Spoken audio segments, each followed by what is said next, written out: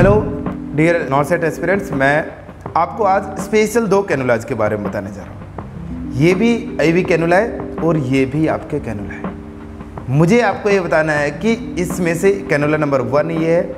ये intravenous administration करने के काम में लिया जाता है या आर्टरी के लिया जाता है? दूसरा ये, जो सेकंड हैंड में है कि ये आपके आर्टीरियल कैनुला है या वेनस कैनुला है? दूसरी बात दोनों के आपको नंबर्स भी बताने और कमेंट करने कि कितने गोल्स का ये कैनोला है और कितने नंबर का ये कैनोला है। ऐसे ही और वीडियोस के लिए सब्सक्राइब करें टी